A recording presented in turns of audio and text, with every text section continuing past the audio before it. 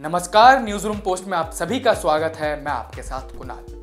दुनिया की सबसे ऊँची चोटी माउंट एवरेस्ट की चढ़ाई। बड़े बड़ों के बस की बात नहीं होती है।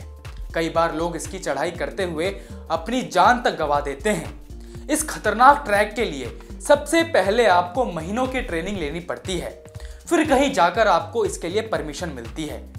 तो चलिए, आज हम आपको एक ऐसे ही शख्स की कहानी बताएँगे, जिसके दोनों पैर नहीं हैं और हाथों में सात उंगलियाँ नहीं हैं।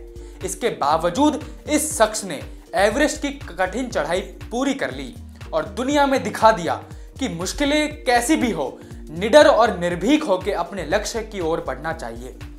तो हम जिस आदमी की बात कर रहे हैं, उसका नाम है एंड्रिया लैंफ्री एंड्रिया साल 2015 में जब 29 साल के थे, तब एक बीमारी के कारण उन्हें अपने दोनों पैर और हाथों की सात उंगलियाँ गंवानी पड़ी थी। इस दौरान वो इतने गंभीर रूप से बीमार हो गए थे कि उन्हें सात महीनों तक हॉस्पिटल में रहना पड़ा था। और इन सात महीनों में दो महीने तो ऐसे थे जब वो कोमा में थे। एंड्रिया लैनफ्री उन लोगों में से हैं जो कभी हार नहीं मानते हैं और स्थिति कोई भी हो, वो उसे लड़ना जानते हैं। दुनिया को जब लग रहा था कि एंड्रिया अब कुछ नहीं कर पाएँगे तो एंड्रिया लैनफ्री स्प्रिंटर बनने का ख्वाब देख रहे थे। उन्होंने अपना सपना पूरा भी किया और 2016-18 के वर्ल्ड पैरा एथलेटिक चैंपियन में मेडल भी जीते।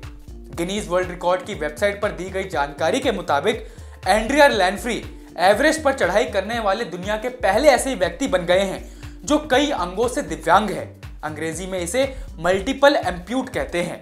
हालाँकि इससे पहले भी कई दिव्यांगों ने एवरेस्ट की चढ़ाई की है, लेकिन मल्टीपल अंगों से दिव्यांग के मामले में, एंड्री लेनफ्री दुनिया के पहले व्यक्ति हैं। तो ये है वो जाबाज, जिसने अपनी जिद के आगे दुनिया की सबसे ऊँची चोटी एवरेस्ट को भी झुकने पर मजबूर कर दिया। तो आपको ये वीडियो कैसी लगी? कमेंट बॉक्स में ज़रूर बताएँ और देखते रहिए न्यूज़ रूम पोस्ट।